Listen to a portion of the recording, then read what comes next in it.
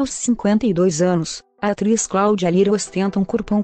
A artista sempre se preocupou com a prática de esportes e alimentação saudável, e recentemente se rendeu à nova dieta do momento, chamada Dietcal. Conhecendo o método tive a certeza de que era o que estava procurando.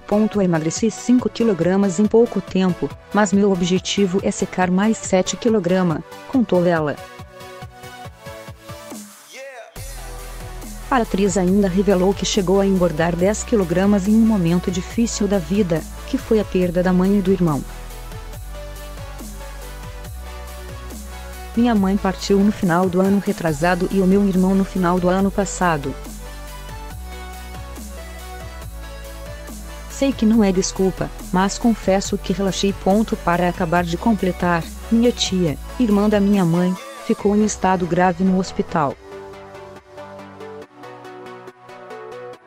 Foi um período de muita ansiedade, mas a responsabilidade de ter engordado foi totalmente minha, disse. Ela já realizou papéis importantes em emissoras como Globo e Record TV, e agora está se preparando para gravar um longa-metragem e investindo no ramo de produção de cinema.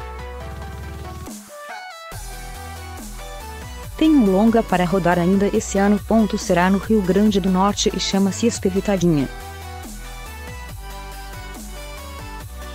Porém, estou começando a escrever um roteiro para um filme que quero dirigir, finalizou.